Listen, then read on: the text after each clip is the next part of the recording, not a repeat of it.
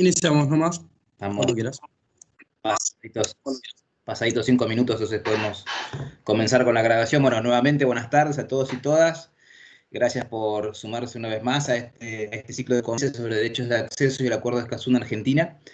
Hoy tenemos la- la- el privilegio de contar con la, la exposición de Dolores Duvergé, eh, una amiga abogada especializada en, en el régimen jurídico de los recursos naturales, experta en materia ambiental y cuestiones energéticas, y fue nada más y nada menos que jefa de delegación argentina en, las negociaciones del acuerdo de Escazú. Entonces, si con Andrés estábamos realmente en la cocina de esto, que con Dolores continuamos, vamos a poder tener acceso de primera mano de lo que fue este acuerdo. Y en el caso de Dolores nos va a explicar eh, los derechos de acceso a la información pública ambiental. Y el título de su charla es Importancia en la implementación de su acceso como garantía para la concreción de la democracia ambiental en la Argentina. Hoy vamos a contar con la co-moderación de Adri Magnetti, así que, bueno, tanto Adri como yo vamos a estar para canalizar las preguntas a través del chat y llegado el caso, bueno, habilitamos micrófono para que haya un, un- un intercambio, un debate más, intenso. Eh, Dolores, eh, el espacio es todo tuyo y bueno, gracias como siempre. Gracias, Ariel. ¿Se escucha bien? Sí. Gracias, Ariel. Eh, gracias eh, eh, también a Andrés Napoli, que hoy no está eh, presente, pero bueno, es el coordinador académico de esta actividad y ba- bajo la cual junto con Ariel tuve la invitación de poder formar parte. Y a todo el equipo, a, a Fernando y a Adri, que me va a estar ayudando con el tema de pasar las, las filminas de, de este encuentro. Y la verdad muy contenta de que esto se esté realizando eh, en el instituto, teniendo en cuenta eh, bueno, lo que, lo, que tenemos eh, que llevar a cabo de aquí en adelante tras la ratificación del acuerdo regional sobre acceso a la información, participación ciudadana y acceso a la justicia ambiental, donde la temática de precisamente la sensibilización, la educación y la capacitación eh, que involucra a los funcionarios y también a la población en general para poder participar de estos asuntos ambientales es, es esencial. Me imagino que acá eh, no solamente están eh, aquellos que forman parte del Ministerio Público Fiscal, sino que es mucho más amplia. O sea que eh, bienvenidos a todos, porque precisamente, como dice el título de la presentación, esto está pensado eh, precisamente para que sea lo más abarcativo posible. Indudablemente, en términos de lo que hace a la justicia, eh, vamos a necesitar funcionarios que entiendan en la temática ambiental a la hora de administrar la justicia, eh, pero eh, eh, también se vuelve esencial el tema de que tengamos eh, ciudadanía o público interesado que pueda hacer valer los otros tre- tres accesos, ¿no? Y bueno, así que eh, con esta breve introducción, eh, en donde todos estamos involucrados, yo pasaría a la exposición, eh, a ver si la podemos poner en pantalla. Les agradezco a todos que estén acá, de paso, y que les resulte interesante esta, esta temática en particular. Dolores, una, una acotación simplemente, hoy tenemos eh, unos cuantos eh, alumnos y alumnas de, de la Universidad de La Matanza, ¿sí? Eh, de la materia de Derecho Ambiental y Recursos Naturales. Ah, eh, que está el doctor eh, Baroni, pero bueno, Silvia Samid ha sido quien, quien ha incorporado a, a sus alumnos y alumnas, así que tenemos una, una inyección de, de juventud importante, además de la, de la que tenemos estable, ¿no? En, la, en el curso. Bárbaro. Bueno, y Así que bueno. Que cuanto más, más, más se sumen y más se vaya replicando, y me imagino que, que, bueno, nosotros hace poquito que, eh, que ratificamos el acuerdo, pero ya a partir de, de- lo que fue mediados de este año y, y, eh, este, con, con- con lo que fue el impulso para que se aprobara el acuerdo, me imagino que el año que viene también va a ser parte de la currícula y con el tema también de, de la ley Yolanda con, con la temática de educación ambiental como parte también de la currícula, este, esto va a ir increciendo, ¿no? Así que, bueno, y, también teniendo en cuenta que de todas maneras los, los derechos de acceso no es algo tan, tan novedoso en lo, que, en lo que hace la República Argentina, sino que venimos accionando por la implementación ya durante unos cuantos años y de hecho tenemos legislación pertinente, pero eh, el tema en sí es que esta, este tipo de herramientas sean más comprensibles y se vaya mejorando. Y esto tiene que ver también con eh, lo que hace al mismo eh, acuerdo regional, ¿no? En donde precisamente estábamos reunidos con, con, con varios estados con, de América Latina y el Caribe, en donde había desigualdades en lo que era el, estándar en cuanto a, las garantías o inclusión de estos derechos en, su legislación y en su implementación. Y bueno, que se, trató, a nivel regional de encontrar un estándar común eh, que fuese el piso y que eh, de alguna manera de, allí en más eh, ir mejorando y lo que ya estaba mejorado en cada uno de, los países respecto a ese estándar que se estableció a nivel regional, bueno, fuese también progresivamente mejorando aún más. O sea que vamos a ver en lo que es el texto del acuerdo que hay cuestiones que, que bien nosotros las tenemos eh, incluidos en nuestra legislación y, y otras en donde se nos brindan pautas para también mejorar lo que ya tenemos incluidos. Pero bueno, pasamos a, lo que es el, acuerdo en sí. Si querés, Adri, vamos a la, siguiente filmina.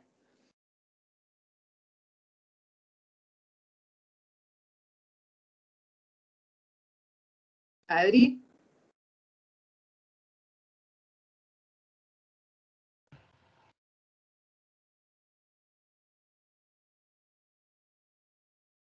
Ahí está. A ver. una demora. ahí, bueno, yo, yo, igual voy, mientras, ahí desapareció la filmina, pero, este, a ver. Estoy acá. ¿Estás ah, ahí? hay un delay dolo cuando se pasa. Eh, pequeña paciencia tenemos que tener para cuando se pasan. Bueno, buenísimo. Bueno, yo voy, yo voy, yo voy contando. Voy de nuevo con la presentación.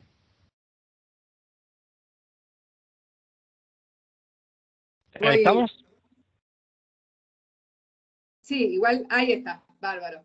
Bueno, esto seguramente lo habrán visto con, el, director académico Andrés Napoli, que es todo todo lo que fueron los inicios, ¿no? De, poder llegar a este acuerdo, eh, principalmente, como te digo, más eh, como te digo, 92, donde precisamente se establece el principio 10 en la declaración de Río y donde se establece que, el mejor modo de tratar las cuestiones ambientales es mediante el acceso a, este, a esta trilogía de derechos Después hay una, reunión de, ministros donde se vuelve a repetir esta temática y en Río más 20, en el 2012, precisamente hay un acuerdo entre lo que es la, región de América Latina y el Caribe para poder ir avanzando. Esto teniendo en cuenta que eh, ya otro, otro continente como, como el europeo había eh, ya eh, avanzado con un convenio internacional y que eh, por las características propias de nuestra región se hacía necesario implementar un, sistema que recogiera lo que podían ser las mejores herramientas para poder lograr este tipo de acceso tan, tan necesario. Y es ahí donde comenzamos con una serie de reuniones que empiezan las negociaciones en el 2014, 2015, y finalmente en el 2018, eh, en marzo del 2018, se adopta el texto del acuerdo eh, internacional eh, para finalmente abrirlo a la firma en septiembre, el 27 de septiembre de 2018. Y este año la Argentina finalmente lo ratificó, ahora fue México, por lo cual una vez depositados los instrumentos internacionales, conforme lo establece las disposiciones del acuerdo, ya entraría en vigor para, cada uno de los estados que, que lo ratificaron. Eh, de todas maneras, eh, eh, fuimos más de 22 delegaciones las que participamos en, la, en, la, en, la en, las negociaciones. Era muy importante que Argentina y México ratificaran. Argentina fue parte de la mesa directiva. en realidad la presidencia y la copresidencia la tuvieron Chile y Costa Rica. Eh, Costa Rica seguramente sea el siguiente que ratifique después de, México. Chile todavía no, no, no, no, no lo ha ratificado, ¿no? Pero, pero bueno, este, se, va, se va avanzando poco a poco y ya, ya eh, contamos con eh, todas las ratificaciones que, necesitábamos para la entrada en vigor y para que esto, bueno, fuese fuese eh, eh, el inicio en la implementación de los derechos de acceso a nivel regional. Pensemos que es el primer acuerdo eh, internacional, de, asuntos ambientales a nivel regional y el, primero a nivel mundial que protege a los defensores del pueblo, del pueblo, a los defensores de derechos humanos en asuntos ambientales. Así que es sumamente eh, importante como materia propia de, derechos humanos y une precisamente estas dos cuestiones de derechos humanos y de derechos ambientales dentro de su mismo texto. Así que eso no es un punto, eh, eh, un punto para no tener en cuenta. Si querés, Adri, anda pasando la, la próxima y yo sigo hablando.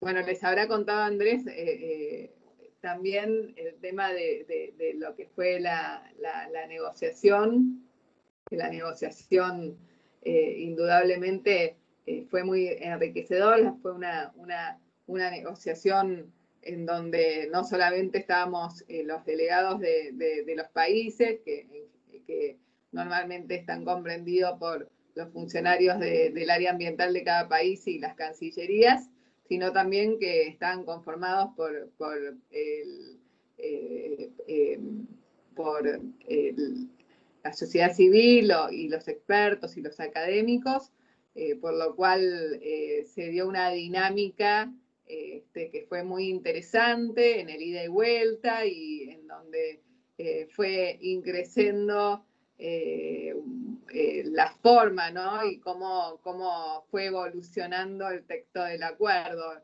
Eh, al, principio venía con bastantes, bastantes trabas en el sentido de que no todos los estados tenían la misma, el mismo conocimiento sobre algunos de los temas, pero bueno, teniendo, teniendo en cuenta los desafíos eh, también ambientales de, la región y, también este, eh, el, tema, eh, en tema ambiental como uno de los pioneros que, tenemos a nivel mundial. realmente hubo un fuerte compromiso por todas las delegaciones para poder seguir avanzando y bueno, y esta dinámica particular de poder ir avanzando junto con, con las distintas perspectivas en la concurrencia con, la sociedad civil y, el público en general, eh, llevó al logro de un tratado en el que todos eh, coincidimos que fue un, verdadero hito. Y acá, bueno, tenemos eh, básicamente lo que nos dice el principio 10 y cómo se reconoce el tema de de que el mejor modo de tratar las cuestiones ambientales es con la participación de todos eh, y que esta participación solamente se puede dar en la medida en que haya un público que esté informado y que eh, eh, también debe haber procedimientos judiciales, tanto administrativos como judiciales en, sí mismos, para poder hacer valer este, esta trilogía de derechos. Si querés, Adri, pasar a la siguiente. Entonces, eh, vemos, vemos así como de alguna manera hay una interdependencia entre estos eh, derechos. Eh, tenemos que el acceso a la información de alguna manera alimenta el hecho de que pueda llegar a haber una, una participación, una, una, mejor participación por parte de los interesados y, tenemos como garantía que se puede, que si no se dan este, estos dos derechos que posee la, ciudadanía para, para gestionar eh, mancomunadamente con, el Estado los temas ambientales, eh, se pueda recurrir a la justicia. Y también vamos a ver, si quieres Adri anda pasando a la próxima, eh, vamos a ver que, esto eh, de alguna manera también se ve alcanzado en los que son las medidas de eh, fortalecimiento de capacidades y en los temas de, cooperación que también tiene, tiene el, tratado.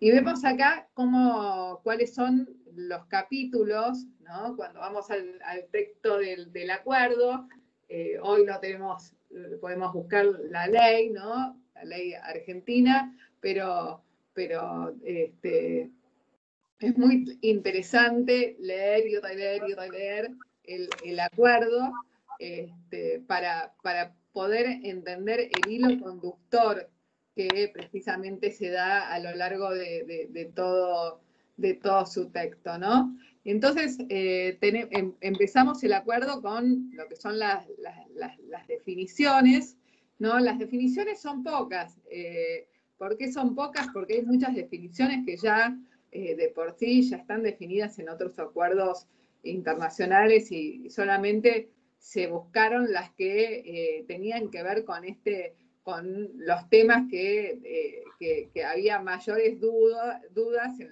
lo que era la implementación, en lo que hacía este acuerdo en sí mismo. Por eso cuando ustedes lo lean, se van a dar cuenta que son, son poquitas, pero tienen que ver con que muchas de, las otras cuestiones ya están eh, definidas en otros acuerdos, por lo cual no necesitan más definiciones.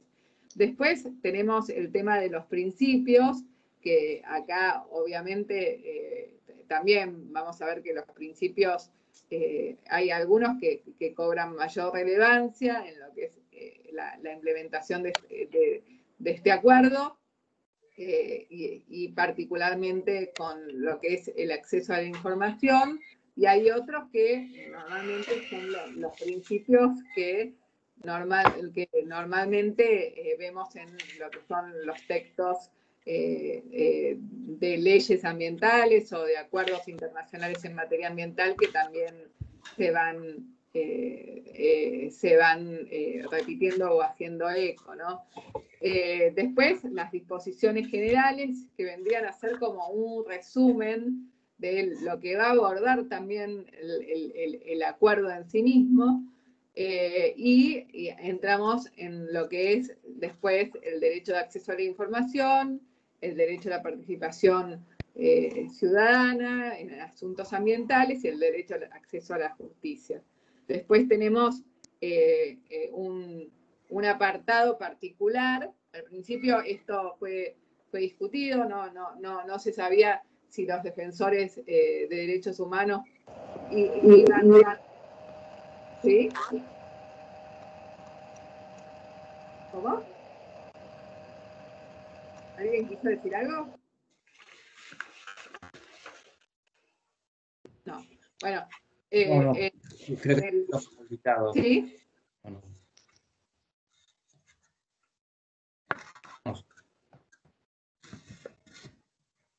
No sé si hay algún micrófono abierto o algo así. Eh, eh, Ariel, vos que estás moderando, o, si hay alguna pregunta. Puede, puede haber algún accidentalmente abierto, pero no hay ninguna pregunta en concreto. Ah, bueno. Bueno, bueno. Eh, eh, bueno, estaba hablando de que el, acápite de defensores de derechos humanos en, asuntos ambientales al principio estaba incluido dentro de lo que era el derecho a acceso a la justicia, pero finalmente se consideró necesario hacer un apartado aparte. después tenemos un acápite destinado al fortalecimiento de capacidades, cooperación, y después todo ya lo que es la parte más eh, administrativa o de, implementación eh, en lo que es eh, el acuerdo en sí mismo a nivel regional, que, la conferencia de partes, la solución de controversias entre estados, no entre particulares y un estado, sino más bien entre estados, y otro tipo de, disposiciones que tienen que ver más con lo que es la entrada en vigor del acuerdo, etcétera. Adri, si querés pasar la próxima. Eso básicamente es lo que sería eh, lo, que comprende el acuerdo en sí mismo y por eso eh, eh, cuando uno lee el texto del acuerdo es, mejor leerlo siempre, leerlo siempre en un todo, porque vemos cómo de alguna manera eh, cada parte va hilvanando lo que tiene que ver con, las otras, ¿no? Eh, como dije antes, que hay un mismo hilo conductor eh, que de alguna manera hace que precisamente en, un todo haya un texto coordinado y bien encausado. Y bueno, y acá tenemos básicamente lo que es el, objeto del acuerdo, eh, que, como, como, decíamos, trata precisamente de garantizar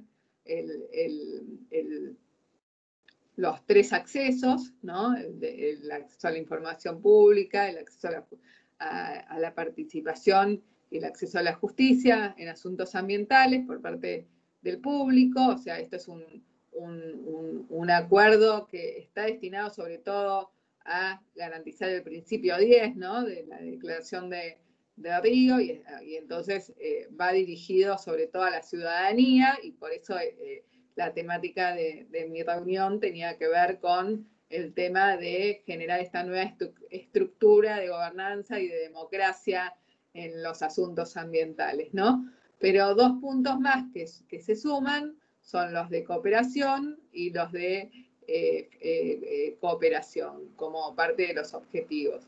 Y entonces ahí es donde vemos que, los resultados van a tender también al hecho de que eh, haya una, mejora en lo que es el tema de, las desigualdades, porque precisamente eh, en el intento de eh, poder lograr estos, esta trilogía de, acceso, vamos a tener la obligación de, de plantearnos eh, si todos los, si los interesados están en igualdad de condiciones para poder ejercitar estos derechos y en el caso en que hubiese dificultades para lo que es el ejercicio, el Estado se va a tener que poner al frente para poder eh, desarrollar herramientas que eh, puedan ir allanando el terreno para que, para que todos los sectores interesados puedan ejercitar los derechos, ¿no? Eh, el tema de que también mediante este acuerdo se van a prevenir conflictos. Nosotros vemos que como, como región muchos de los conflictos eh, ambientales, eh, muchos de los conflictos a nivel regional tienen que ver con el tema de los recursos naturales como elementos valiosos para, para los pobladores de la región y de alguna manera el tema de eh, poder informar, participar y acceder a la justicia, eh, allana los territorios para lograr decisiones consensuadas en donde se puedan evitar conflictos de estas características, ¿no? Eh, el tema también de que para eso se va a tener que trabajar en lo que es el acceso a la información y la participación ciudadana, eh, y esto va a implicar eh, precisamente el desarrollo de los mecanismos que están en estos dos accesos, eh, el tema de que también estamos ante estados donde se requiere que haya una rendición, una mejor rendición de cuentas y se aboca a la transparencia y a la buena gobernanza en la gestión en la gestión de la política ambiental y esto va, lleva como consecuencia un cambio estructural y a dar respuesta también a los desafíos mismos que plantea eh, la región. Si querés, Adri, podés ir pasando a la próxima. Y cuando, cuando hablo de los desafíos eh, propios que, genera la región, eh, vemos precisamente cómo, cómo, cómo, se dan estos desafíos en cuanto a lo que es la, lucha de los recursos naturales eh, al, tema también de eh, precisamente eh, cómo los defensores de derechos humanos en, temas ambientales son, son, tienen los índices más altos en lo que es el, tema de, amenazas y de, crímenes y bueno, cómo se tiene que tender a posibilitar el ejercicio de estos defensores en, en, ambientes propicios eh, para poder desarrollar su, su, actividad. Y al tema también de que, de que se tiene que buscar eh, soluciones para alcanzar el desarrollo sostenible, porque es una región en donde se necesita seguir creciendo, hay mucha deuda estructural en términos de, en términos de desarrollo, y como tenemos esa deuda estructural en términos de desarrollo, indudablemente esto va a, necesitar, y tenemos mucho territorio también que, eh, en donde hay presencia de recursos naturales, eh, para prevenir conflictos precisamente vamos a tener que desarrollar todo este, este, eh, este tema de, las herramientas para poder posibilitar que haya una mejor plataforma. la realidad es que uno cuando, cuando está en la, en la función pública y ve otros, otros puntos de vista. Eh, esto, eh, esto lo digo eh, en cuanto a lo que es el, tema de la participación, ¿no? Pero para que haya una participación, indudablemente también se necesita una información y, la información viene precedida también con la sensibilización en los temas ambientales. Y vemos cómo, cómo es necesario precisamente eh, para poder lograr mejores decisiones, eh, las diferentes perspectivas, porque quizás uno eh, va enfocado con un determinado tema, indudablemente tiene, tiene, tiene información técnica, y, pero es, es, diferente cuando, cuando del otro lado las poblaciones eh, o, precisamente quienes habitan los territorios donde se van a tomar decisiones eh, eh, saben acerca de las decisiones que se pueden llegar a tomar e intervienen, intervienen brindando más herramientas para tomar mejores decisiones. Y eso es lo que el acuerdo de alguna manera trata de lograr. Y bueno, esta, esta, esta filmina es, es precisamente el, artículo que, ya, que ya eh, expuse antes acerca de lo que es el objeto, donde vemos precisamente los tres elementos de, del acuerdo, eh, de, los accesos y eh, la, temática de, la cooperación y del fortalecimiento de capacidades, ¿no? Adri, si querés, podés seguir con, la, con la próxima. Acá ya entramos en lo que son las definiciones en, las definiciones eh, eh, precisamente encontramos las que tienen que ver con las temáticas del acuerdo. Yo les, les, hago toda esta introducción antes de entrar al derecho de acceso a la información, precisamente porque este, así vemos cómo es eh, precisamente la mecánica que adopta el acuerdo para llegar a, a este resultado y cómo cuál es la asociación y ver los diferentes elementos que también encontramos en cuanto a la temática de información en todo lo que es el acuerdo y no solamente los artículos 6 y 7 que son los propios de acceso a la información pública ambiental en lo que es el acuerdo. Y en lo que son las, definiciones, eh, se va a definir los derechos de acceso, que obviamente se va a hacer referencia a que, cuando se habla de derechos de acceso, se habla del derecho de acceso a la información, a la participación y a la justicia en asuntos ambientales.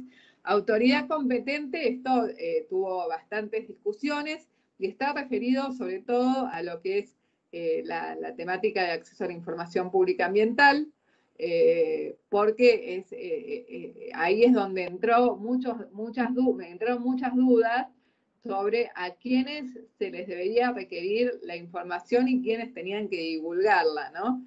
Y se llegó a la conclusión de que se tenía que poner una, una definición amplia porque no, no solo el Estado era eh, el, que eh, en, algunos casos, eh, va, en la mayoría, en todos los casos, ¿no? Es el que tiene que garantizar este, este derecho, pero también hay otros sujetos que también tienen que brindar información ambiental, que normalmente son los que, los que bien prestan servicios públicos, eh, tienen concesiones o reciben recursos del Estado. Es por eso que esta definición también está comprendida dentro del acuerdo, porque si bien ustedes cuando lean el texto del acuerdo van a, van a ver el tema de autoridad competente y nosotros en la Argentina lo, eh, normalmente lo, enfocamos siempre en lo que es, un, es la autoridad de aplicación de una, de una normativa determinada, bueno, acá todavía es más amplio en lo que hace al acceso a la información. Eh, cuando eh, otra de las definiciones es la que tiene que ver con la información ambiental.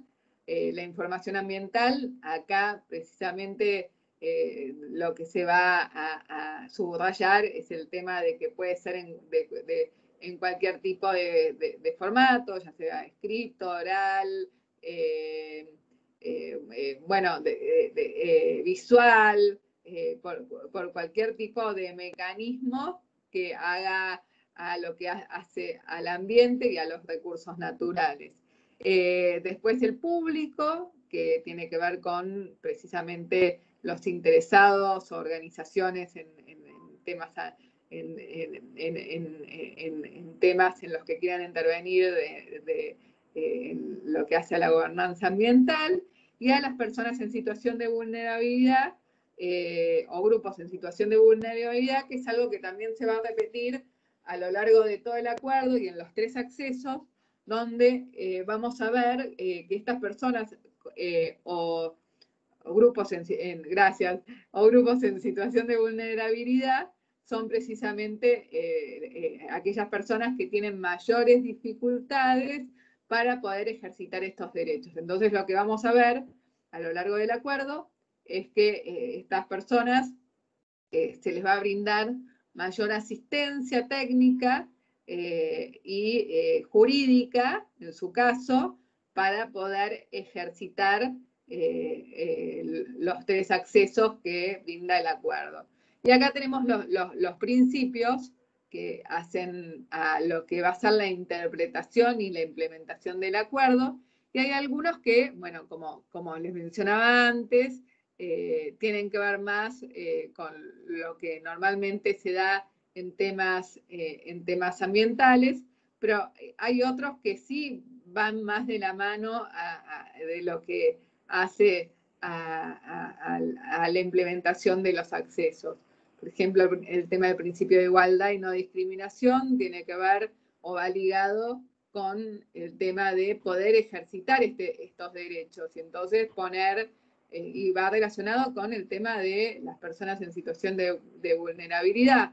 Entonces, el hecho de poder brindar las mismas oportunidades a, todos eh, para poder ejercitar estos derechos y, estar el Estado, entonces, eh, eh, digamos, eh, de alguna manera en una situación, en una situación que de alguna manera priorice a aquellos que están con estas dificultades para poder brindarle mecanismos para poder ejercitar estos derechos. El tema del principio de transparencia, rendición de cuentas, indudablemente tiene que ver con, con la información. El principio de no regresión y de progresividad tiene que ver eh, en lo que hace al acceso a la información con el hecho de que indudablemente en lo que es acceso a la información no puede haber un retroceso en lo que ya se está brindando, ¿no? Como, como información o en lo que ya legalmente uno, uno ya tiene como, como piso, sino eh, sino que, eh, eh, sino que este, tiene que ir aumentando precisamente a favor de este derecho los mecanismos para que se logre este tipo de acceso. Y la progresividad tiene que ver con que precisamente no, si bien las disposiciones del acuerdo van a ser un montón y va, va, va a haber eh, que, que, que, haber un esfuerzo ¿no? por llegar al contenido del acuerdo, indudablemente esto se va a dar eh, con el tiempo, de la noche a la mañana, no es que se van a alcanzar todos los objetivos, sino que progresivamente se va a ir eh, llegando a su cumplimiento. Para ello el acuerdo, precisamente en lo que hace a la parte estructural y que está al final, crea un, está, eh, eh, digamos, crea la conferencia de partes y como órgano asesor eh, un órgano de apoyo para el cumplimiento de, los derechos, ¿no? que de alguna manera va a coadyuvar para que los estados puedan ir avanzando. bueno, después el principio de igualdad, ¿no? soberana de los estados y el principio eh, pro persona. Bueno, los, otros principios eh, eh, en general son principios que, y el, principio de máxima publicidad sí tiene que ver con, el tema de acceso a, la información, que de alguna manera también lo vamos a ver dentro de lo que es el acuerdo en sí mismo. después, no, está perfecto, Adri, pasar a la próxima. en las disposiciones generales, como les decía, tenemos una especie de resumen de lo que va a tratar todo, todo el acuerdo. O sea, vemos cómo eh, de alguna manera el principal objetivo del acuerdo es alcanzar eh, el desarrollo sostenible, un ambiente sano, ¿no? O sea, eso no se pierde de eje. Eh, es el principio 10, ¿no? Y te dice el mejor modo de tratar las cuestiones ambientales es con la participación de todos, y dice que es mediante los tres accesos que cuál es el mejor modo de tratar las, de, tratar las cuestiones ambientales para lograr este ambiente sano, ¿no? Entonces, esto es lo principal. Después tenemos que, eh, em, eh, eh, que ya se va a lo que son los, los derechos reconocidos en el acuerdo con los temas de acceso a la información, eh, acceso a la participación y acceso a la justicia, el, que, eh, que, de, algún, eh, de, algún, modo son los artículos que le siguen a lo que es el, objeto del acuerdo, después, y a, lo, que son los principios, ¿no? Después, la asistencia y facilitación para el ejercicio, que esto tiene que ver con las personas en situación de vulnerabilidad, que lo vamos a ver en los, tres accesos, el, entorno propicio para los defensores, esto para también para cualquier tipo de acceso, ¿no? En donde quieran ejercitar eh, eh, estos derechos, eh, la no limitación a las normas más favorables, esto yo ya había hecho referencia a que eh, quizás en el acuerdo tenemos un, piso, como si fuesen las leyes de presupuestos mínimos que establecen un piso y después las provincias eh, dictan las complementarias que nunca pueden ser eh, inferiores en, el resguardo de estos derechos de los presupuestos mínimos. Bueno, es, lo mismo, ¿no? la, la interpretación más favorable, o sea que en caso de duda, eh, se tiene que ir por la interpretación más favorable en lo que es la implementación de los derechos de acceso, el tema de las nuevas tecnologías y datos abiertos, ahí se salieron las, las filminas, eh, y los datos abiertos, que eh, indudablemente, digamos, fue un acuerdo avanzada, porque ¿quién, iba a pensar que, hoy estaríamos en la, era más digital que hayamos visto antes, ¿no? Este, y precisamente acá en lo que hace al acceso a la información, el tema de los datos abiertos eh, y, el uso de tecnologías, sobre todo en lo que, en lo que hace este tipo de derecho, de acceso, eh, es sumamente importante. Lo cual no quita que las personas en situación de, vulnerabilidad, eh, como, pueden ser personas que no tengan acceso a la informática y a otros recursos digitalizados, no puedan ejercer eh, o, no puedan ser atendidas por el Estado, en realidad no, no, deberían siquiera reclamarlo, el Estado debería, eh, debería eh, tener por reconocida quiénes son esas personas para poder brindarle la asistencia y poder, ya sea por idioma o ya sea por medios, poder brindarles el acceso adecuado. ¿Doleo? Ya volví se cayó, no sé por qué de repente, pero ya estoy acá de nuevo. Bueno, bárbaro. Ahí te comparto de nuevo. Bárbaro. ¿Quieren hacer alguna pregunta mientras tanto? ¿Está claro por ahora? Acá en el chat aún no tenemos preguntas, pero si alguien quiere hacer alguna intervención, eh, hasta que Adri pueda volver a compartir pantalla, Sí, bueno, ahí está. se perdió la oportunidad. bueno, fue, fue, un corte, fue un, eh, un corte esto. Bueno, bárbaro. Y ahí entramos entonces, fue, pero fue, un corte perfecto porque ya entramos de lleno al derecho a acceso a la información. Así que buenísimo. Acá lo que es importante en el derecho de acceso a la información es el tema de que hay dos eh, tipos de implementación, ¿no? Estos son los artículos 6 y 7 del acuerdo. Eh, por un lado, tenemos eh, eh, la posibilidad de solicitar información a través de lo que serían las, solicitudes de información a los organismos competentes, ¿no? que los organismos competentes fueron los que mencionen las definiciones, por eso esto esta introducción que fue larga, pero que yo creo que es, necesaria para, poder entender eh, cada uno de los accesos, ¿no? Y que sobre todo en términos de acceso a la información se vuelve bastante indispensable.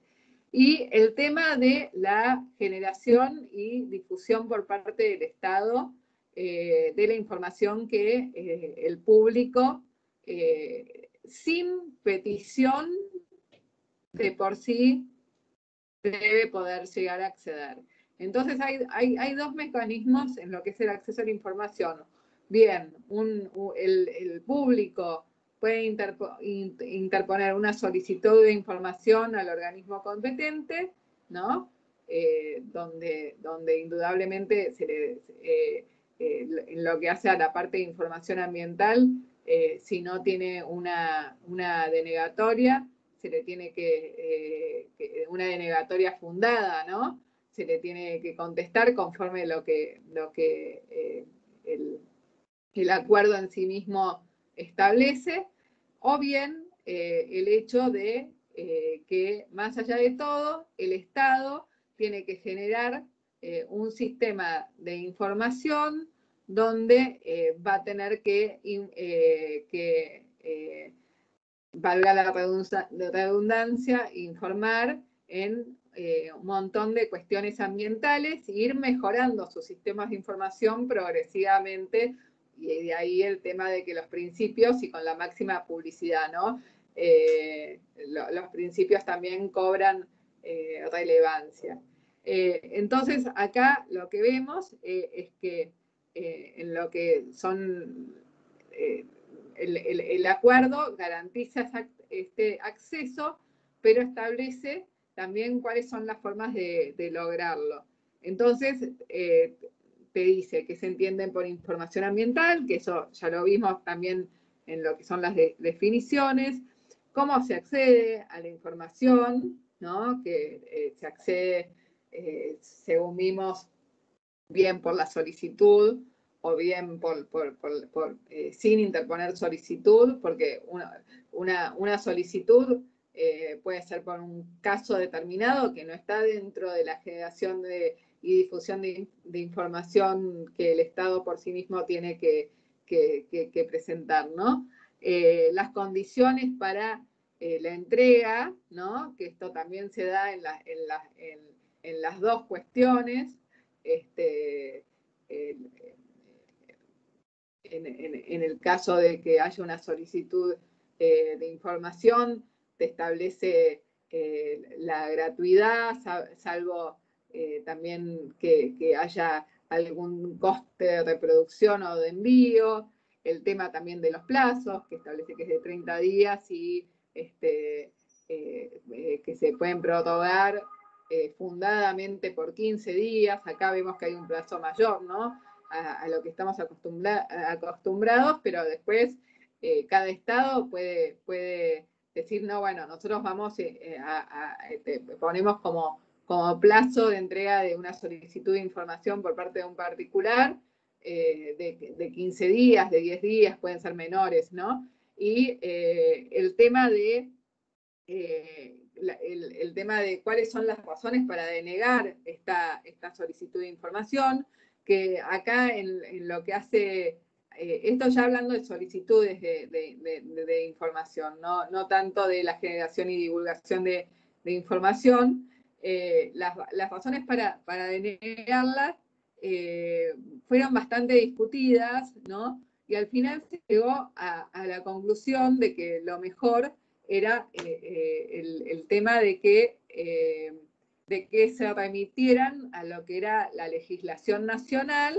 y en el caso en que eh, no hubiese eh, legislación nacional donde se establecía por qué podía llegar a estar denegada la, información, se establecían cuatro supuestos que podían ser receptados por los estados en el caso, no, que podían, no, que, que debían ser receptados por los estados en el caso de que no brindaban la información y que tenían que ver con, el techo, eh, con el tema de la protección de la vida y la salud de las personas, o bien por el los temas de seguridad nacional, o bien por la protección del ambiente, o bien por eh, eh, el tema de investigaciones judiciales que pudieran verse, que, pudieran verse comprometidas si se accedía a contestar este tipo de solicitud.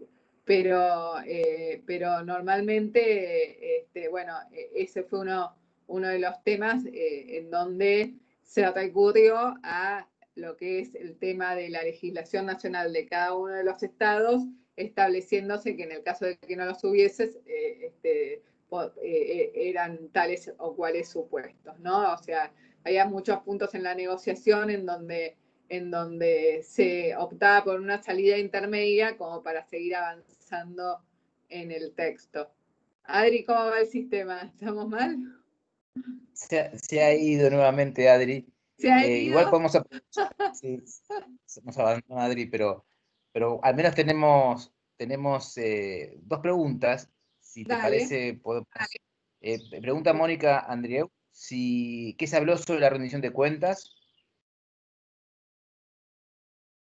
Bueno, la rendición de cuentas en realidad no es que se habló.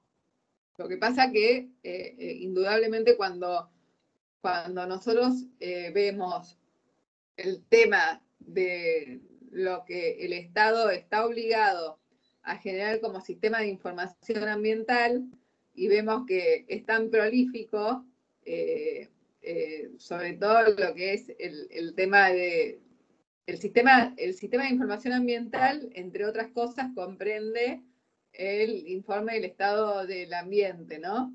Que en este caso establece que eh, no, se tiene que informar eh, con un plazo no, no mayor a cinco años. Nosotros tenemos que cada año se debe informar sobre el estado del ambiente, ¿no? Eh, y bueno, en realidad hay cuatro, cuatro, supuestos sobre los que, los que se puede hacer, realizar un, eh, eh, este informe. Uno tiene que ver con lo que hace al estado de los recursos naturales, el otro tiene que ver con, con eh, los programas o las políticas de gestión que están llevando a cabo eh, el Estado, el otro tiene que ver con la implementación de los derechos de acceso y, el otro tiene que ver con las distintas asociaciones que se hacen entre los distintos sectores para poder ir avanzando en los temas. Entonces, vos cuando, cuando tenés eh, año tras año, como el nuestro, ese tipo de información, eh, de alguna manera hay una rendición de cuentas por parte del Estado en lo que, en, lo que hace a, la gestión ambiental que está llevando a cabo. Es lo mismo que, pasa, si querés, Adri, anda adelantando la próxima, pero es lo mismo que pasa cuando, cuando este, nosotros vemos lo que es el monitoreo en los términos de deforestación. Es una rendición de cuentas, porque eh, cuando vemos que los índices de deforestación ¿no? Eh, van aumentando, bueno, algo está pasando, estamos transparentando, le estamos dando más publicidad, o sea, y eso es a lo que se refiere cuando, eh, cuando vos pones, cuando vos brindas información que tiene que ver con los resultados de tu gestión o de las políticas públicas a disposición de, la gente y brindás ese tipo de información sobre los recursos naturales, es una rendición de cuentas. No sé si fue contestada la pregunta.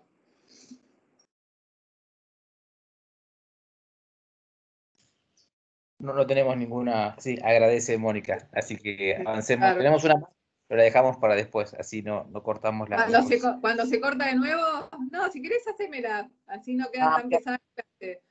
No, preguntaban si a través del ministerio son los boletines oficiales. ¿Si a través de cómo? A través de los ministerios son los boletines oficiales. ¿A través de los ministerios públicos? capaz que hace referencia al Ministerio de Ambiente, ¿no? Fue una pregunta ah, que no, no, no, no, no, ahora, ahora, lo vamos a ver eso. no, no, no, no, no, no. Eh, no, eso, o sea, eh, en general, eh, eso es en, lo que es diferentes cuestiones, pero no, o sea, cuando vemos los sistemas de información ambiental, en general son sistemas que, que están digitalizados y, bueno, y después el Estado en cuanto a ese tipo de información, tendrá que, eh, cuando, cuando, hay eh, este, personas en situación de vulnerabilidad que no, comprenden el idioma o, oficial este, o, no tienen formas de digitalización, tendrán que ocuparse de brindar otro tipo de herramientas para, para poder eh, divulgar este tipo de información, pero no, estamos hablando de sistemas abiertos y de, datos abiertos más tecnológicos cuando, eh, eh, cuando hablamos de reportar la gestión del Estado, no, no tanto del de, el tema más a lo que estamos acostumbrados a, los abogados, en donde en general estamos acostumbrados a leer el boletín oficial para enterarnos de qué es lo que va pasando, ¿no? bastante lejos de eso tiene que estar eh, justamente más accesible, incluso hablando, como decís bien vos, la accesibilidad, ¿no? Eh, Exactamente. con otros enfoques más, más, más novedosos. Sí. Bueno, y, acá eh, este, lo, que vemos es el, tema de las distintas pautas que se tienen que dar eh, no sé si, quedó claro, no sé si eh, Adri había una filmina antes, puede ser, de eh, lo que hace el tema de, solicitudes de, información.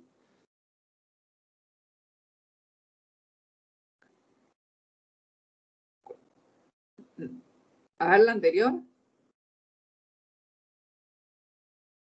Acá está, ah, acá está.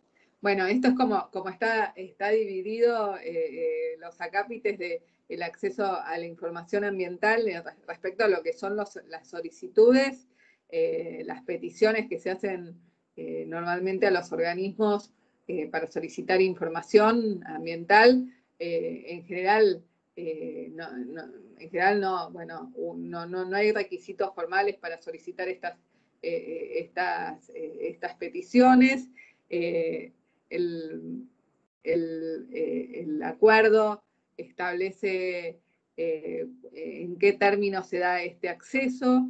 hay que tener en cuenta que eh, no hay eh, demasiados requisitos eh, para poder peticionar, sí hay que ser claro sobre qué es lo que sobre lo que se quiere peticionar y que tiene que ver con información ambiental y, de, los recursos naturales.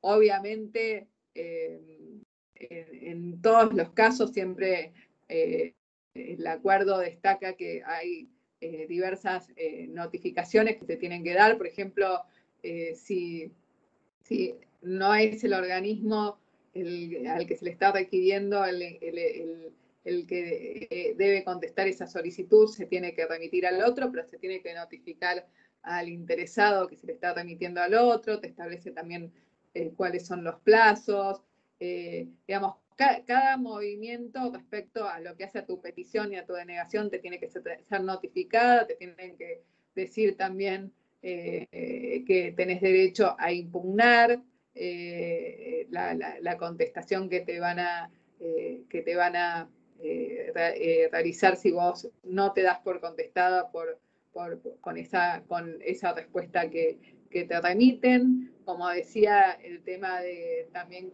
que, te establecen cuáles son los motivos de, negación de, la información, que ya, que ya los explicité.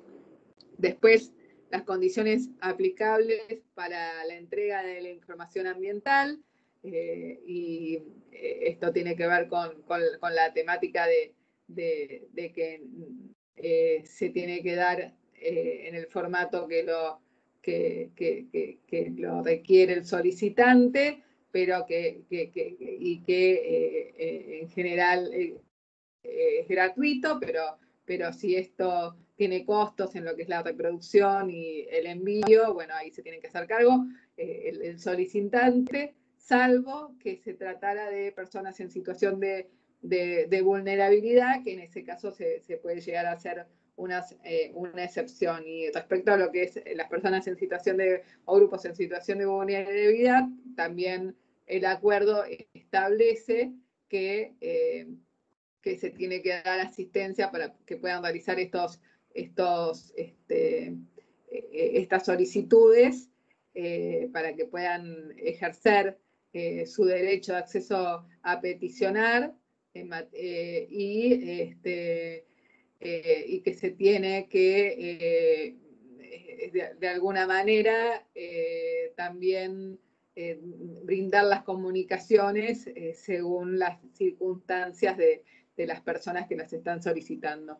Y eh, como, como último tema de, este capítulo de solicitudes de información, que, son, que es el artículo 6 del convenio, tenemos que se establecen mecanismos de revisión independientes que tienen que ver con, con dependencias por afuera de, lo que es la estructura eh, administrativa, que van a ser los encargados de monitorear que eh, efectivamente se esté dando curso a, este tipo de derecho y que va, a tener la posibilidad también de sancionar a los organismos en caso de que no ejecuten o implementen eh, el ejercicio de este derecho por parte del público en el eh, en el monitoreo que, tengan para, realizar.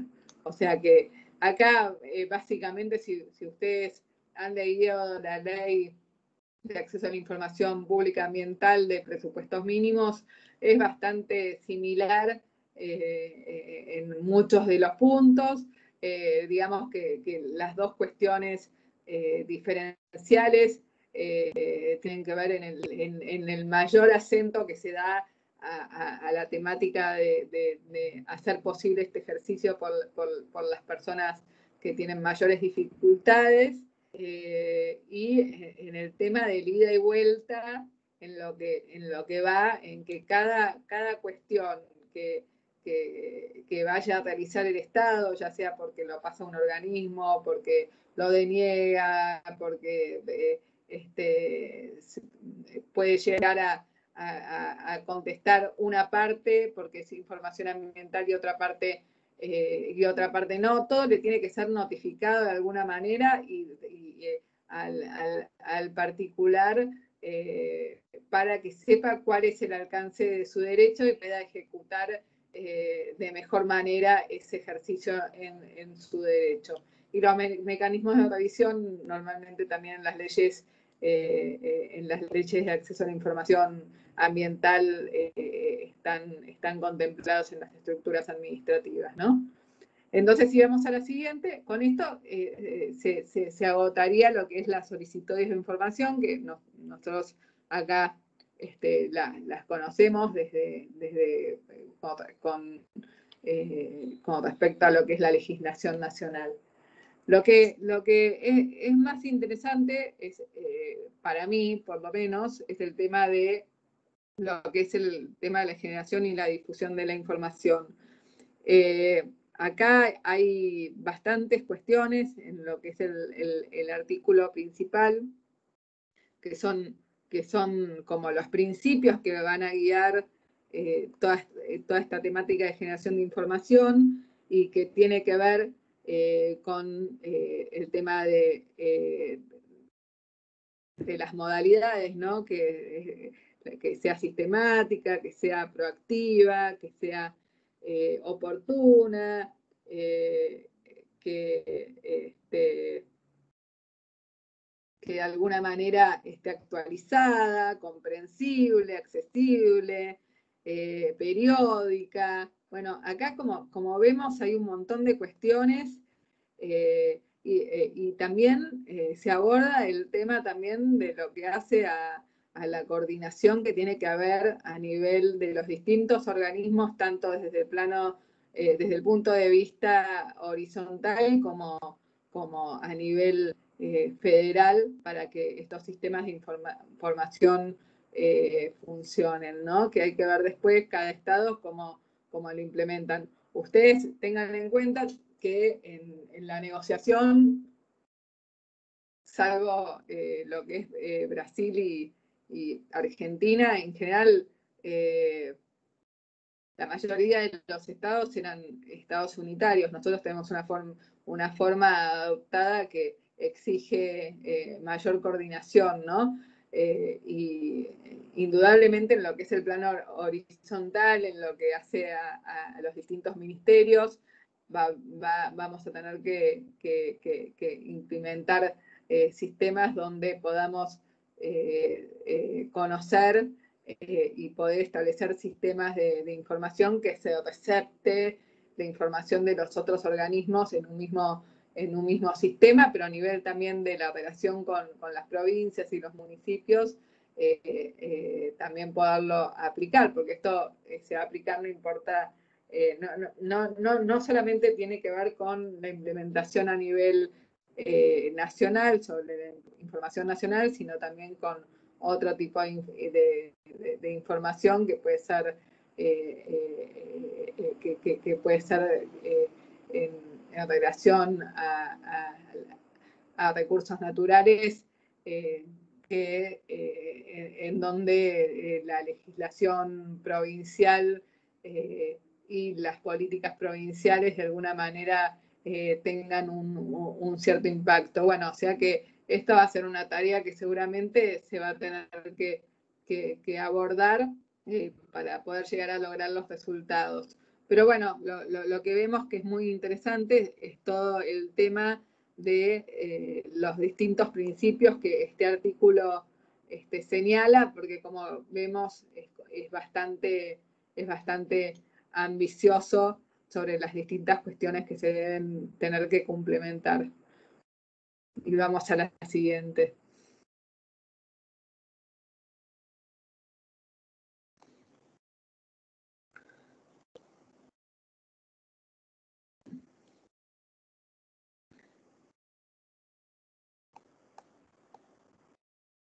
Bueno, ven, como, como decíamos, eh, la, temática de que de la disposición eh, eh, de los sistemas de información en formatos accesibles y que no existan para su reproducción o uso de conformidad con la legislación nacional, ¿no? esto precisamente es lo, que, lo que hablábamos sobre los sistemas de máxima publicidad también, ¿no? El tema de que sean sistemas abiertos, y tiene que, que ver no, no, tanto con la generación, sino con la difusión de la información, precisamente. Eh, como, como requisito. Si querés, Adri, vamos al siguiente.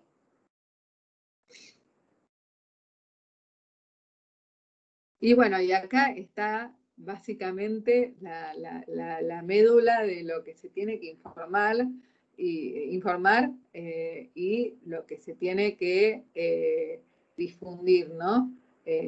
esto merece como una, lectura bastante profunda del artículo 7, eh, porque, bueno, él, da pautas de lo que tiene que contener el sistema de información ambiental que debe desarrollar eh, cada, cada, estado y que indudablemente esto lo va a ir desarrollando de forma eh, progresiva.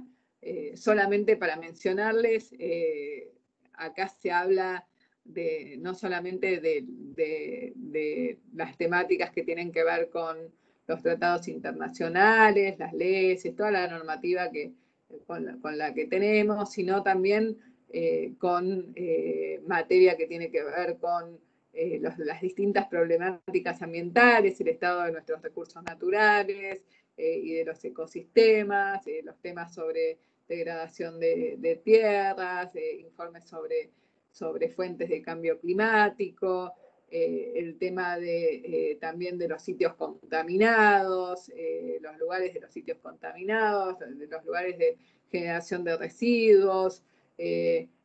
hay, digamos que, los sistemas de información ambiental deben generar información que indudablemente también no son a nivel eh, eh, eh, es, más bien enunciativo, pero es de, de, suma relevancia sobre las diferentes problemáticas ambientales. Y hay también un, un acápite en donde se, se, incluye precisamente también informes, de, informes que, que, hacen a un mayor conocimiento sobre la temática ambiental. Eh, otro, otro, otro punto que tiene que estar difundido es el que tiene que ver, con los registros de emisiones y transferencias de, contaminantes como, como, un punto eh, que, este, que genera. Eh, no mencioné antes, pero el tema del impacto ambiental y el tema también de, de, las autorizaciones y de las sanciones también es un punto que, que debe estar informado. Eh, después, un punto que, que recoge eh, el, acuerdo en lo que hace a los puntos a informar es el, tema del sistema de alerta temprana. Esto eh, es muy importante, sobre todo en lo que hace a, las materias de, cambio climático, ¿no? que en realidad estos sistemas de alerta temprana tienen eh, es uno de los, de los pocos puntos en donde se enfatiza la relación entre lo que es el tema ambiental y la salud de las personas, ¿no? Y eh, la importancia precisamente de que existan este tipo de sistemas para poder realizar las medidas preventivas que, la población necesita para, para poder eh, saber qué hacer ante este tipo de contingencias, ¿no?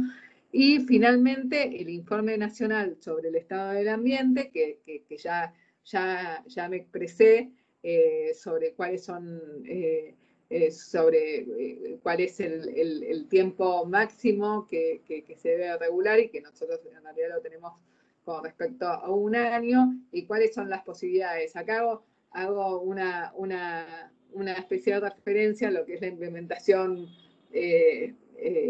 a, la implementación que nosotros hacemos, eh, ellos, eh, digamos, en el convenio se establecen estas cuatro, cuatro posibilidades que puede contener eh, lo que es el estado de los recursos naturales o los, o los programas y las políticas públicas relacionadas o, el, avance en lo que hace el triple acceso y las asociaciones que se hacen entre los diversos sectores para, para entornos a temas ambientales.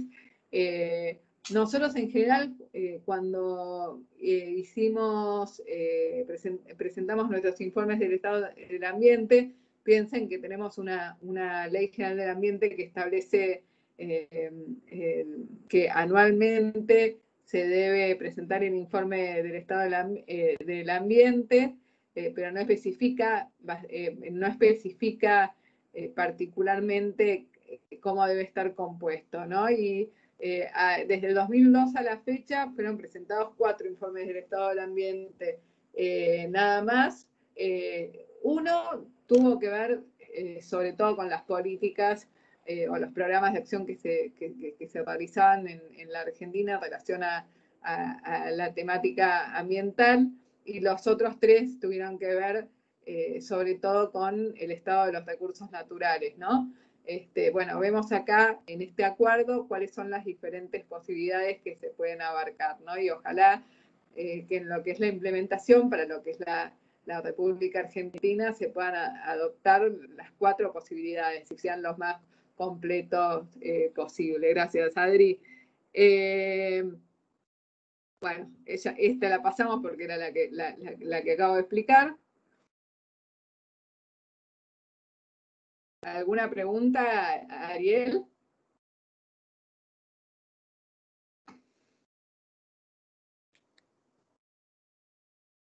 creo que Ariel ya, se fue. Dolo, sí, Ariel ya se fue, si te parece bien, terminamos y cuando terminamos hacemos todas, porque yo no puedo ver las preguntas mientras presento. Ah, bueno, dale, dale. Igual ahí se tapó la filmina, no sé por qué. Claro, porque yo estoy presentando con toda mi pantalla. Ah, bueno, listo, buenísimo. Voy a el micrófono.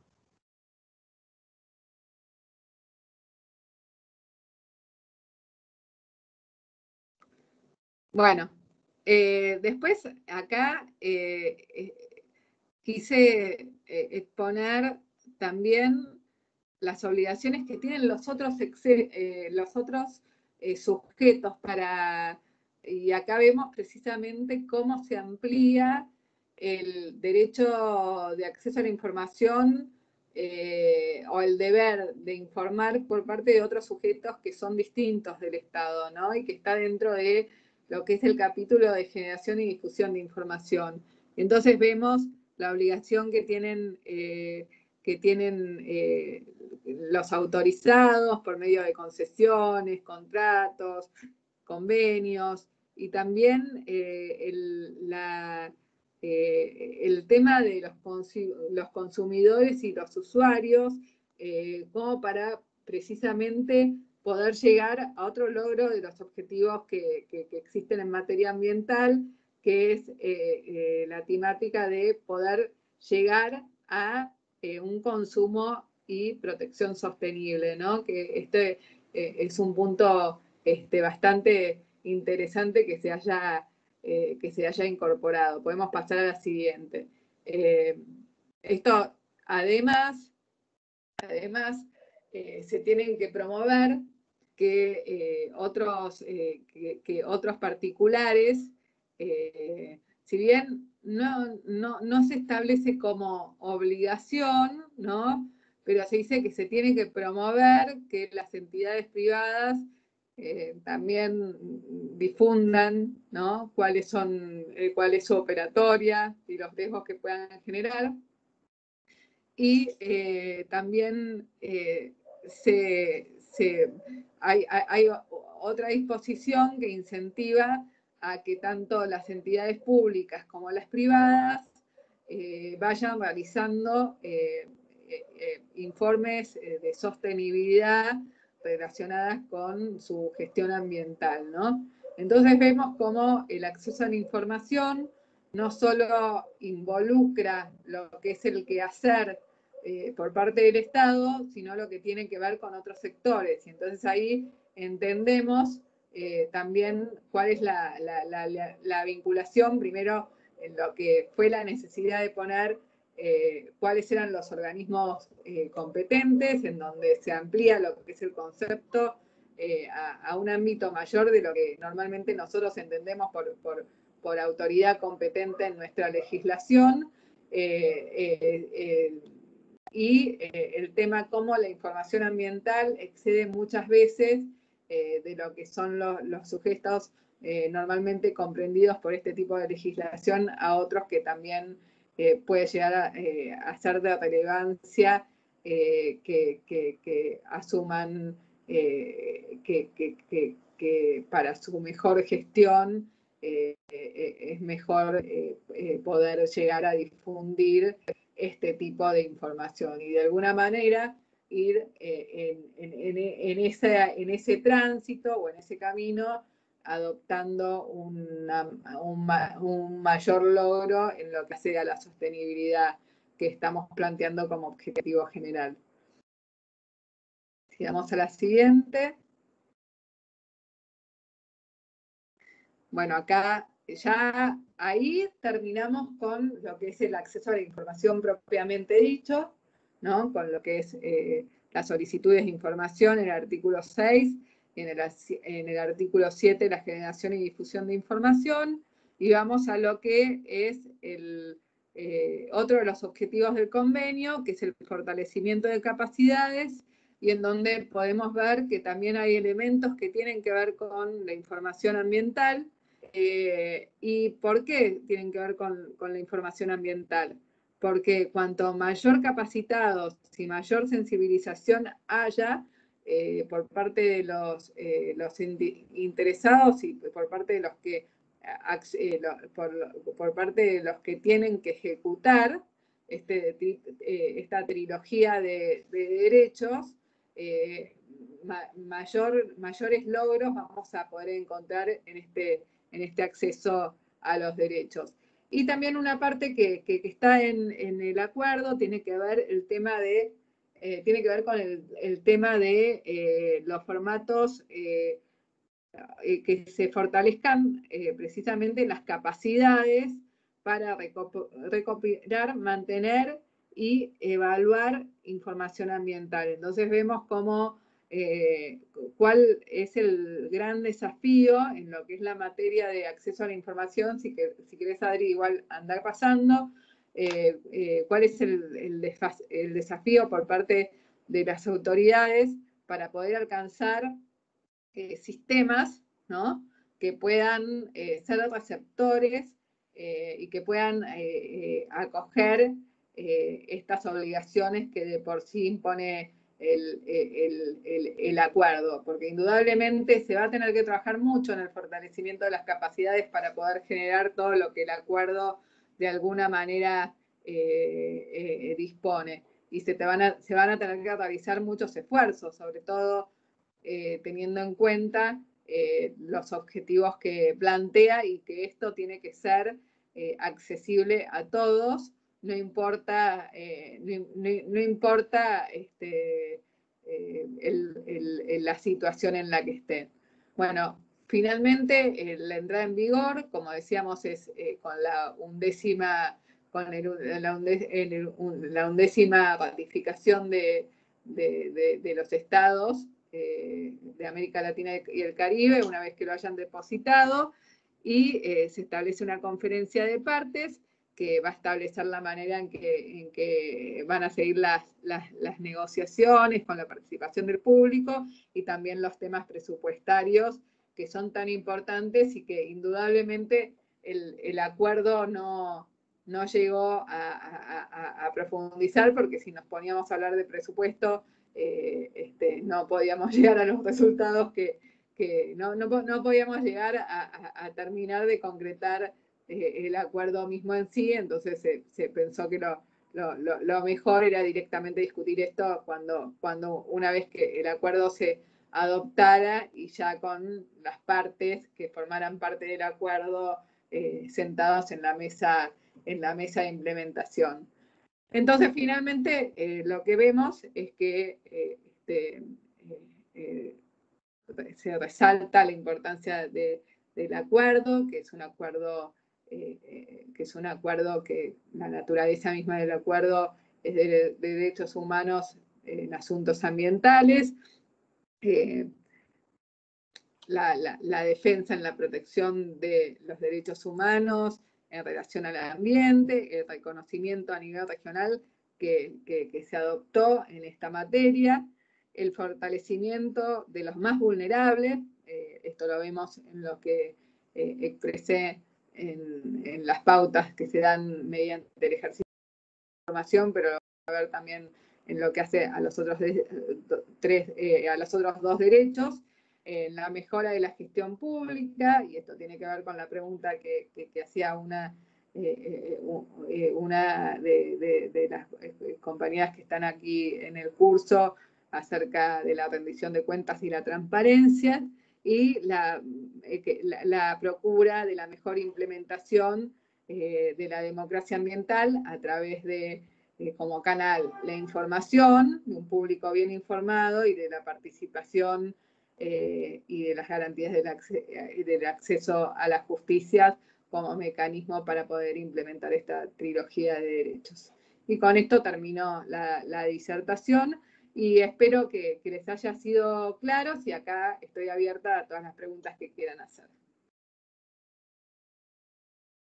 Excelente, Dolores. Bueno, un placer escucharte. Ahora sí voy a pasar a, mirar el chat y vamos a mirar las, las preguntas que, que tenemos. Eh, desde ya que mm, yo voy a leerlas, pero si alguna de las personas que hizo una pregunta quiere hacerla eh, vía voz, eh, estamos, estamos en condiciones también de, que, de que pase eso. Denme un segundito que yo voy a buscar la última que Ariel había, había leído, así no nos perdemos de ninguna.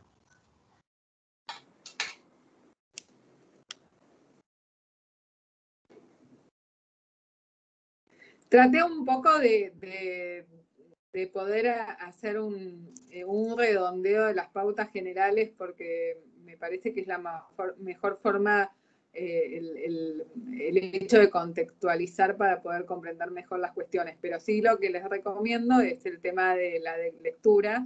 Eh, si pueden después del curso hacer la lectura del artículo 6 y 7 sería muy interesante, sobre todo para poder terminar de profundizar lo que de alguna manera eh, traté de la mejor manera de expresar a lo largo de la, disertación. Dolores, algo que nos pregunta eh, Sebastián es si, va a estar disponible el PDF. Supongo que ya lo respondiste, ¿eso puede ser? Sí, sí, el, PDF está disponible. Buenísimo. Dame un segundito que sigo mirando acá las, las preguntas de, de la audiencia. Eh, Buenas tardes.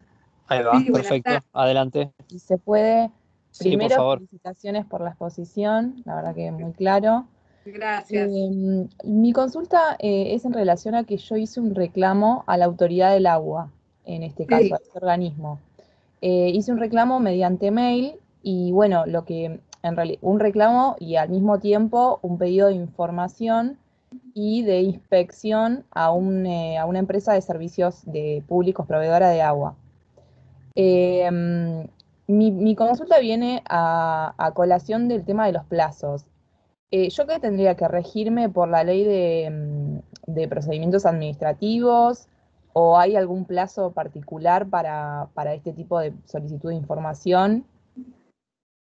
Mira, eh, en realidad primero vos lo que te tenés que fijar es, eh, el tema de el, plazo, eh, cuál es la información ambiental que vos estás requiriendo en tu solicitud de informe, ¿no? Una, cosa es un reclamo administrativo que va por la ley de procedimientos administrativos. Yo no sé si vos estás en provincia o en... o en, en provincia. en provincia. Sí. Bueno, entonces la ley de procedimientos administrativos de la provincia si es un reclamo administrativo y en lo que es eh, la, parte de información pública ambiental, eh, yo me imagino que la provincia de Buenos Aires no sé si tiene ley de, información pública ambiental, eh, pero bueno, tenés la ley de presupuestos mínimos de información ambiental. Vos hiciste una solicitud con el formato de, información ambiental o eh, tan solo como reclamo administrativo? La realidad es que lo realicé como, como particular, si bien soy estudiante de Derecho, pero digamos que tenía como varios requerimientos, digamos, el pedido, eh, y lo envié por mail a la autoridad, digamos, del agua. Claro, Claro, no, lo que tendrías que hacer, lo, que tendrías que hacer, porque hay que ver también cómo lo discriminan ellos, ¿no?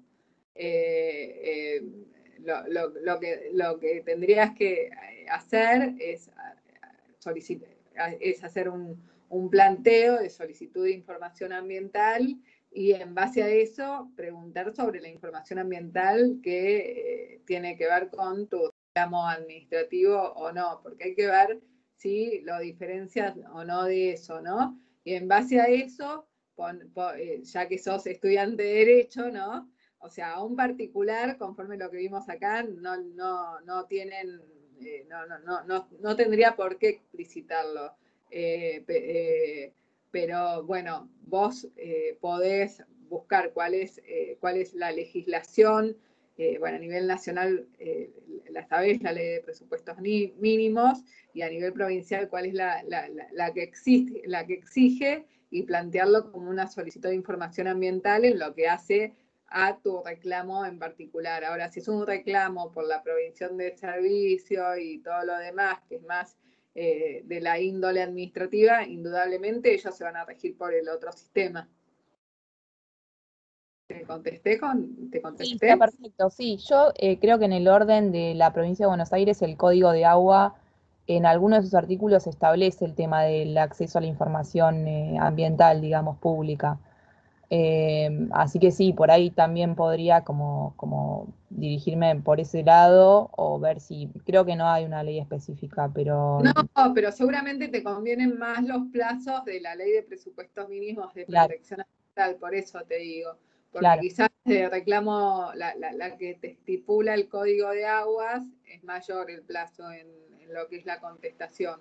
En cambio, si lo presentás, ¿sobre qué, sobre qué era lo que preguntabas?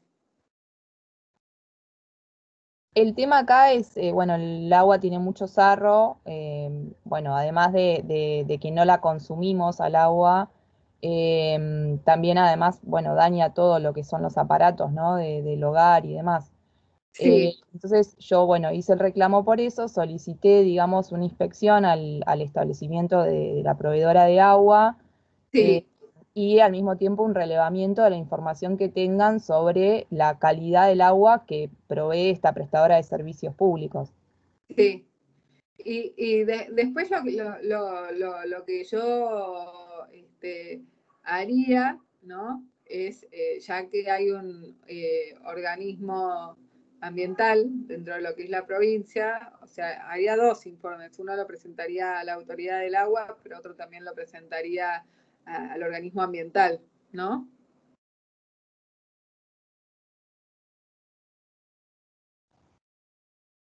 Perfecto. Muchas gracias por, orientarme un poco. No, de nada. Igual tenés, eh, igual tenés varios modelos de, de pedidos de informe, seguramente eh, si, si, si, buscas vas a encontrar por la web. Así que te, recomendaría que, que, los utilizaras, pero sí, pero claramente por lo que decís era un pedido de informe de información ambiental y por, reclamo administrativo te va a tardar más tiempo. Claro, el tema era ese, ver el tema de, qué tipo de plazos eh, tenía que, digamos, que esperar, ¿no? Porque para ver cuánto. pero es interesante la, unión y, yo, yo, si fuera vos, lo presentaría a los dos organismos. Eh, alguno, de ellos te va. Eh, eh, en general, las autoridades de aplicación de, lo que son los pedidos de informes. de, los pedidos de información ambiental son las autoridades ambientales, pero en este caso seguramente lo van a derivar eh, a, la autoridad del agua. Entonces, ya que lo presentas en un lado, presentalo en el otro, ¿viste? De, algún, de alguna manera, lo que abunda no, no daña. Bárbaro, muchas gracias. No, de nada, y también podés poner, eh, eh, podés poner dentro de lo que es la legislación el reciente acuerdo, que no sé qué, no sé cuánto, si bien no entró en vigor, bueno, la, realidad es que Argentina ya lo firmó, así que... Y es un antecedente, exactamente. Eh, gracias, compañera, por la consulta. Em, voy a hacer dos preguntas que están acá. Hay un usuario o usuaria no identificado que pregunta la diferencia entre Escazú y Arus, que es el de Europa, eh, que ni siquiera sé si lo estoy pronunciando bien. Em, Arus, bueno. Em, eh, Andrés exploró un poquito esta diferencia. Te hago también la otra pregunta, ya que estamos. Mónica eh, Andreu dice, em, la revisión se preestablece, se fija un tiempo o periodo y te consulta por quiénes participan en esa revisión independiente y cómo es que sería, está, cómo estaría garantizada esa independencia en la revisión. Bueno, eh, yendo a lo que es la primera cuestión, que es el convenio europeo, ¿no? Eh, la, mayor la, mayor diferencia tiene que ver con el tema de, eh, que recoge nuestro acuerdo, la defensa de, de, los defensores de derechos humanos en asuntos ambientales, cosa que el convenio europeo no, no la recoge, ¿no? Em, después, eh, eh, la verdad, eh, hay otras diferencias que tienen que ver con cuestiones propias del acento que, se le da en la propia convención, o sea, el tema del de, el enfoque acerca de las desigualdades, las necesidades de crecimiento. Bueno, eso está enfatizado sobre, sobre todo en, en lo que es eh, eh, nuestro acuerdo eh, en sí mismo. Pero esas son las, principales cuestiones en, el foco que se le da y que la realidad es que, si bien vinieron a la negociación muchos expertos que tenían que ver con la, con, la negociación que se había dado en el continente europeo, nuestro acuerdo eh, tuvo que ver más con las características regionales eh, y, precisamente su texto tiene que ver con eso.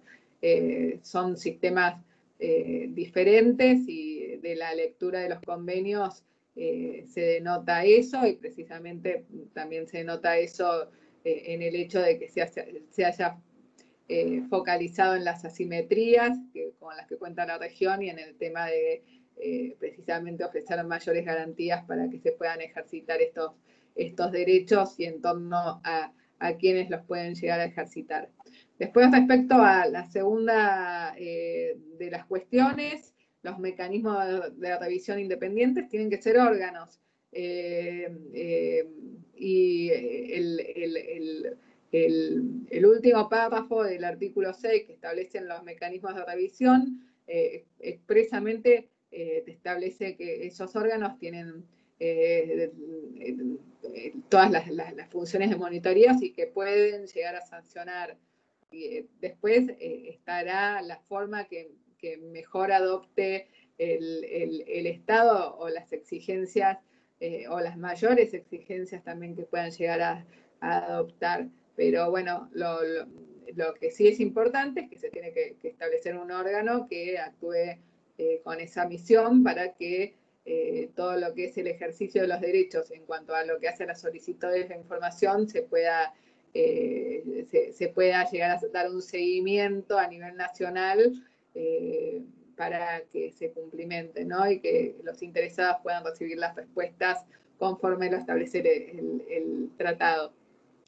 Dolores, te leo entonces algunas cosas más.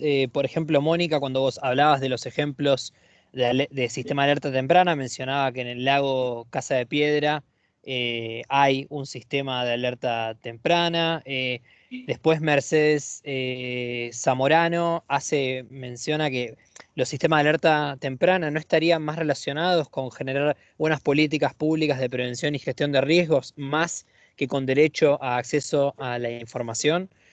esa quizás es una buena pregunta para que respondas.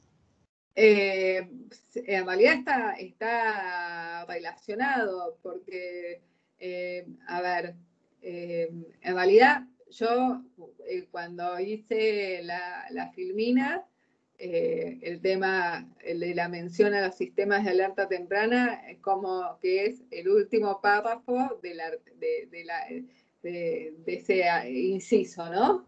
Pero precisamente tiene que ver con el tema de prevenir ante esos riesgos que se pueden llegar a dar.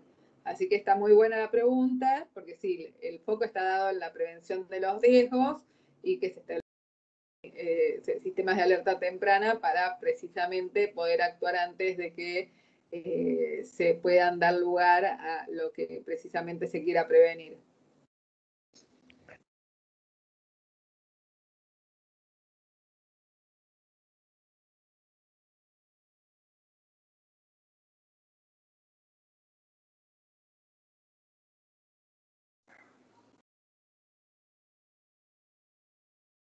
¿Se cortó la comunicación?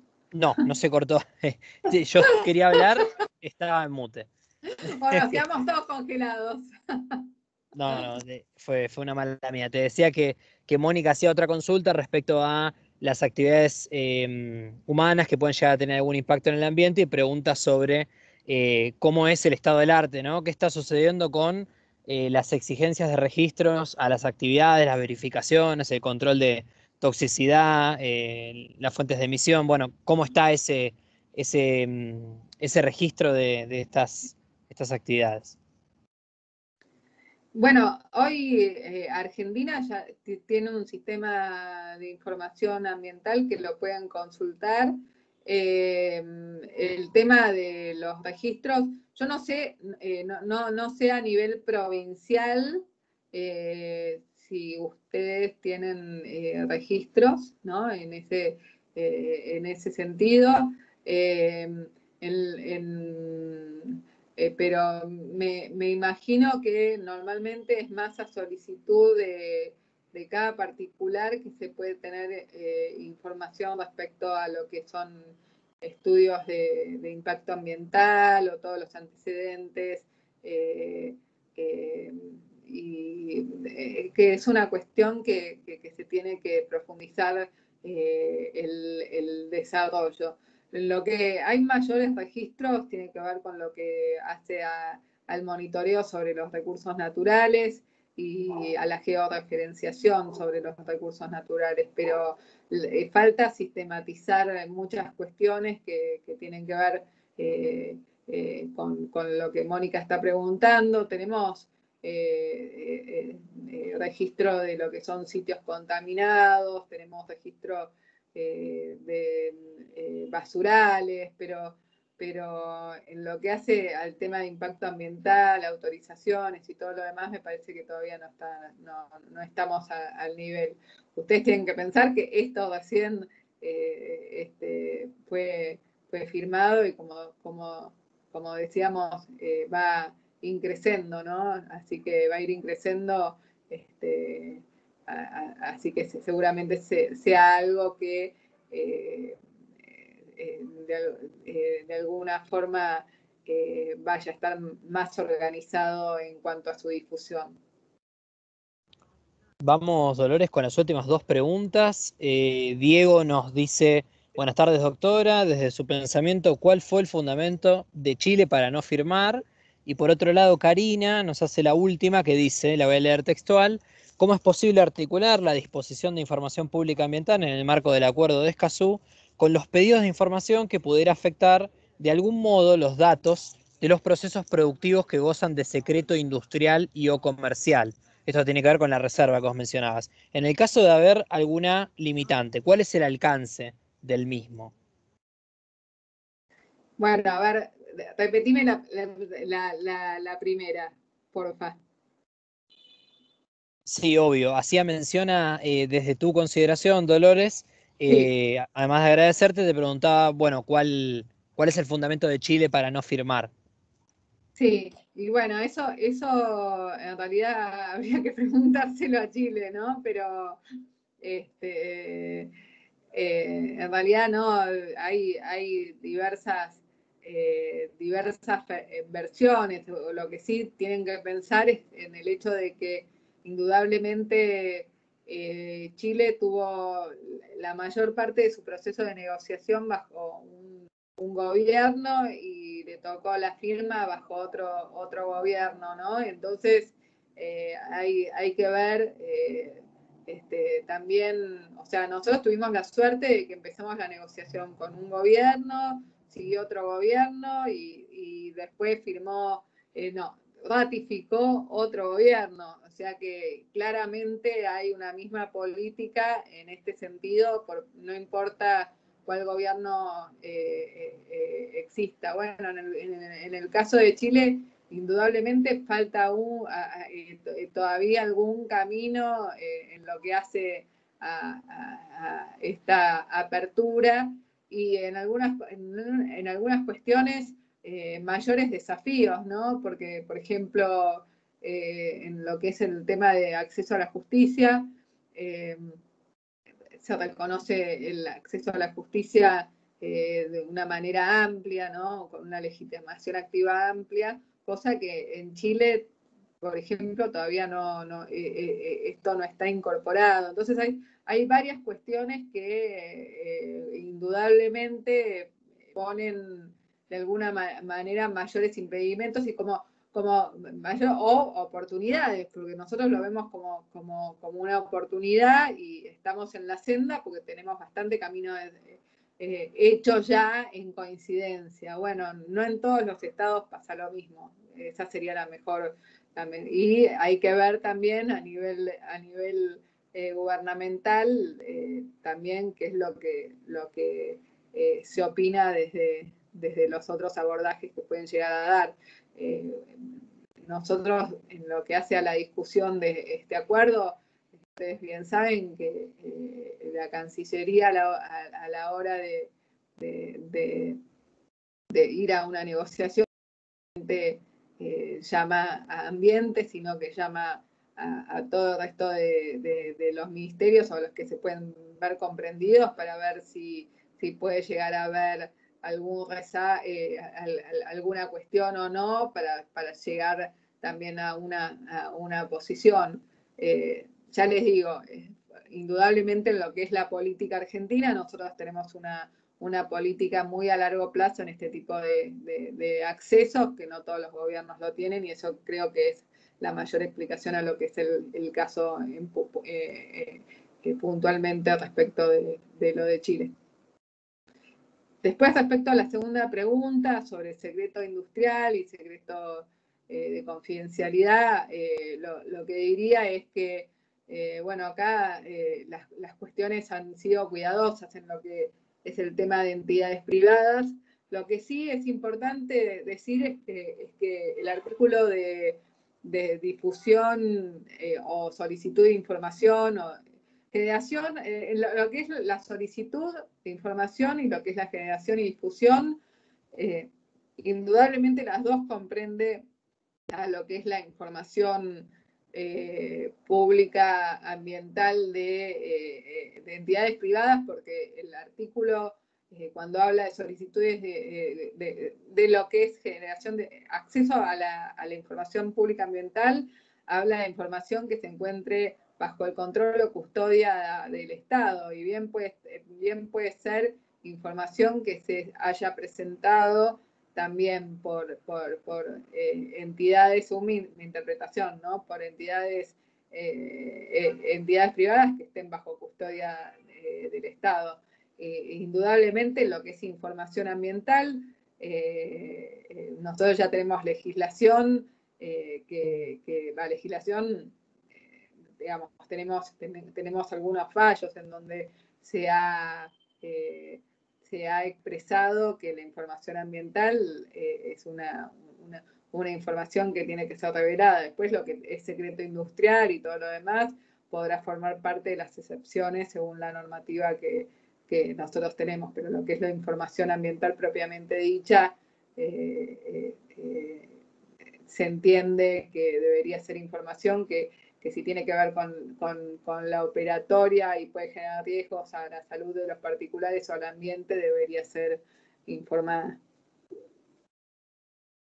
Bueno, excelente, Dolores. Eh, con esta última respuesta y viendo que por ahora no aparece ninguna otra consulta ni comentario, yo eh, voy promediando el cierre sin antes hacerte un, un grandísimo agradecimiento. Creo que estuvo espectacular tu, participación hoy. Creo que es un, gran segundo paso respecto a, uno de los pilares de Escazú, como es el acceso a la información pública ambiental.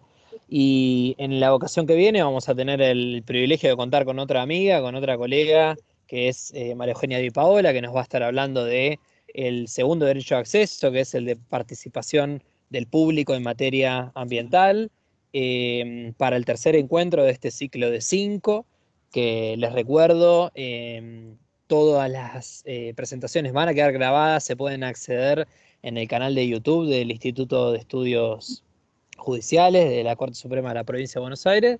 Y eh, hoy tenemos hoy el, placer de, haber disfrutado de Dolores que les, recuerdo a todas y todos, quienes entraron un poquito más tarde, fue la responsable de la delegación argentina en el proceso de negociación y, por esa razón es muy trascendente su testimonio, su experiencia, así que por lo menos eh, desde mi lugar, en nombre de Ariel, el coordinador de curso, y de Andrés, el coordinador académico, un agradecimiento grandísimo para Dolores y el deseo que, todas y todos se sumen en las próximas eh, ocasiones también.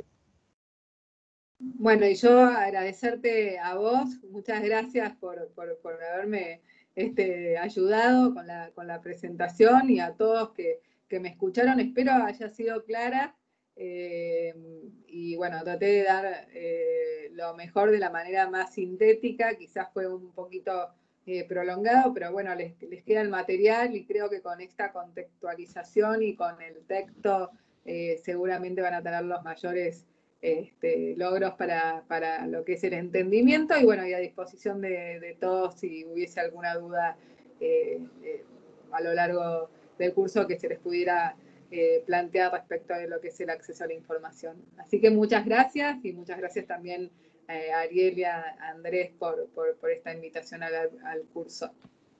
Muy bien, bueno, con esto entonces sí, ahora sí, damos por finalizado. Buenas tardes para todas y para todos y nos vemos el próximo viernes a las 15 horas en el mismo link eh, de acceso que el día de hoy y el viernes pasado. Saludos para todos. Gracias.